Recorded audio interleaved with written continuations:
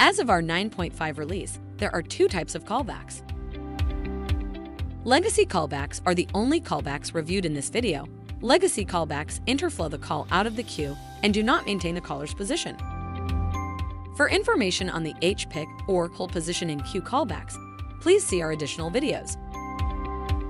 Callbacks allow the system to be able to call back a caller. This prevents a caller from waiting on hold. The caller leaves their contact information and an agent will call them back automatically. There are two ways to program callbacks. A queue is the most common way to implement a callback. While a call is on hold in the queue, a callback gets offered. A callback is offered via RAD messaging. Let's program a queue to offer callbacks. Click Queue. Choose a queue from the list. Click the Recorded Announcements tab. Enter the dialable number associated with recorded messages. On our third option, we are using the Interflow dial list and entering the digit 7. This programs the Interflow dial list 7 to route to a specific hunt group, in this case, 3000. The Interflow dial list is programmed on the MiVoice Business system and not in the YourSite Explorer. Select your workflow. Click and drag the Hunt Group activity from the toolbox to the Answer activity. Right-click on the Hunt Group header. Click Add Condition. Click Add. Enter the appropriate Hunt Group dialable number, in this case, 3000. Click OK. This will allow the system to determine if the call is a new call or meant for the callback plan. Let's add the callback activity. Click and drag the callback request activity to the Hunt Group activity. Right-click on the callback request header. Click Show Properties. You need an inbound and outbound subroutine for the callback. Click the three dots next to Callback Inbound subroutine to choose from a list of available subroutines.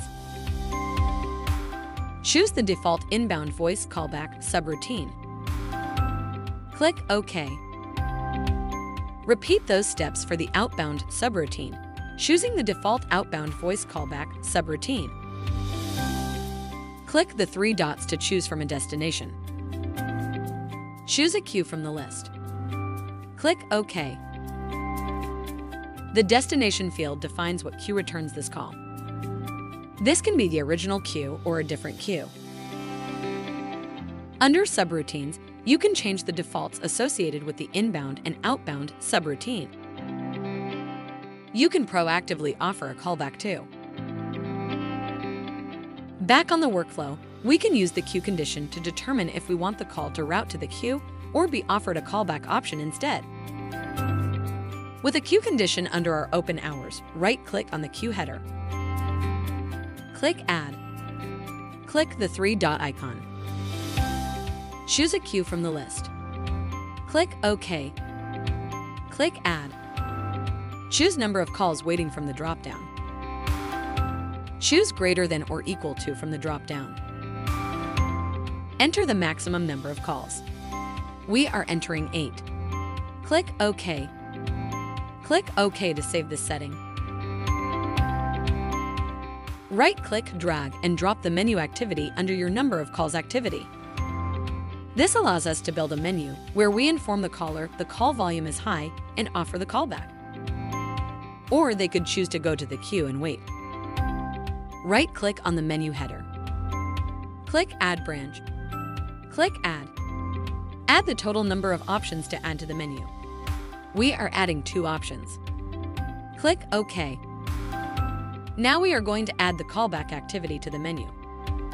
Right-click, drag and drop the callback activity to an option on your menu. Right-click on the callback request header. Click Show Properties. You need an inbound and outbound subroutine for the callback. Click the three dots next to Callback Inbound Subroutine to choose from a list of available subroutines. Choose the default inbound voice callback subroutine. Click OK. Repeat those steps for the outbound subroutine, choosing the default outbound voice callback subroutine.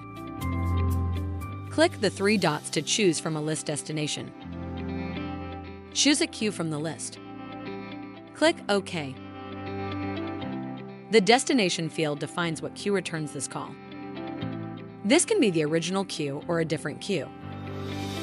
When the call is routed to an agent, they are notified that their call is a callback. The agent is placed on hold. The system places a call to the callback information. If the caller answers, the call is connected to the agent. If the person who requested the callback does not answer, the system retries the call later. A default number of attempts are made,